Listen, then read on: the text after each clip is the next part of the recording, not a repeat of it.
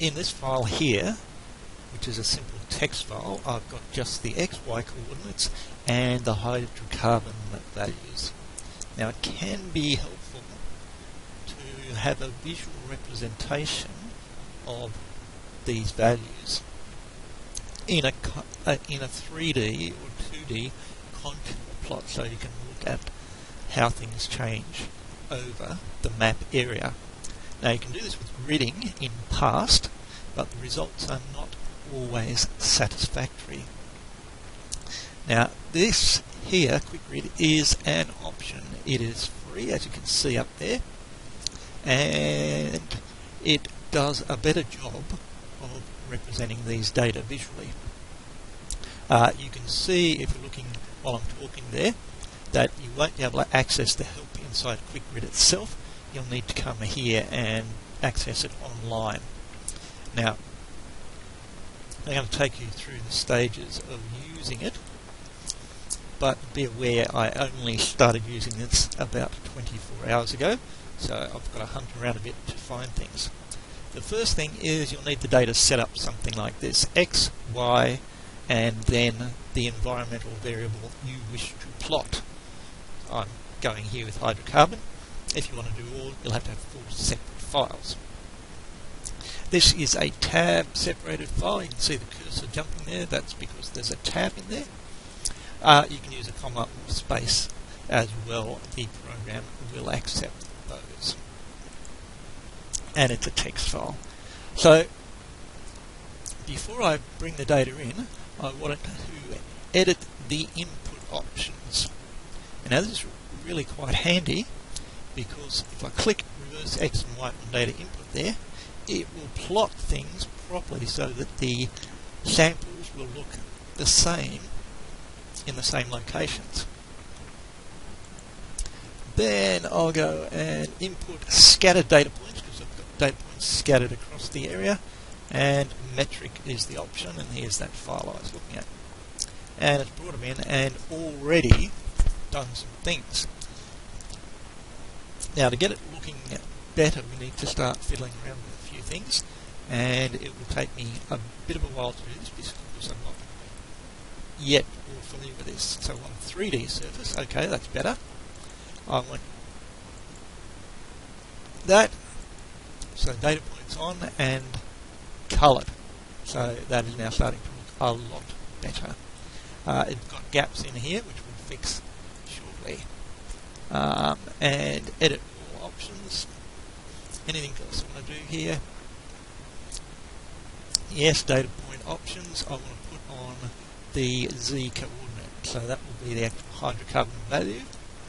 Uh, and I don't think I need to fiddle with any of the other things. I can put grid lines on too. Uh, that's up to you. So now I can see the actual hydrocarbon values on there. Now to move this around, it's cursor keys and control and right and left will rotate. So let me rotate.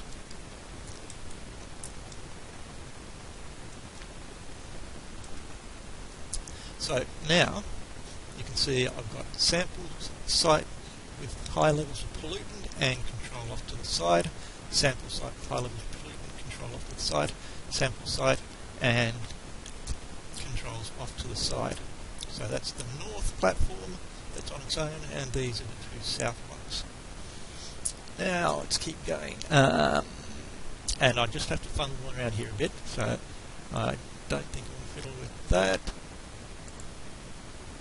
Uh, these ones affect some scaling and here undefined grid locations to zero what you can actually do is set them to a small value like 2 because there are lots of zeros through the area but there are not all. And there we go. Isn't that looking nice?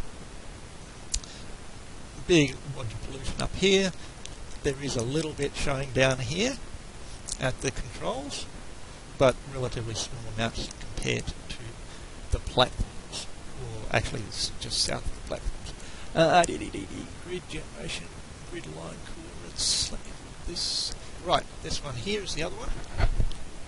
If I get it start at um, and you can leave that alone and change it, and end at 100, that will plot the entire area like that. And that's actually I'm going to rotate it a little bit this way.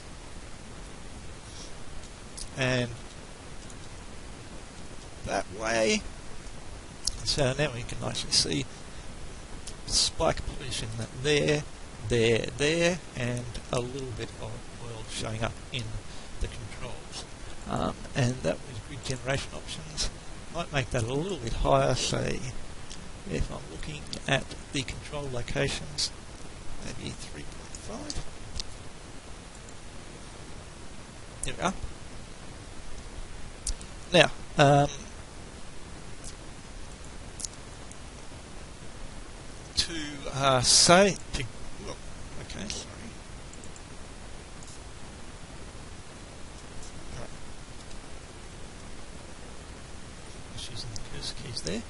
Uh, window, flip the screen. There we go. That's a bit better. I will just use um, print screen or use the um, Gadwin print screen app that I've mentioned to get a copy of that. Um, these files here are not ones you can easily do anything much with. And I don't think there's an alternative way of getting a, a copy of this that can, you can easily put into, um, say, Word. Alright, that's it.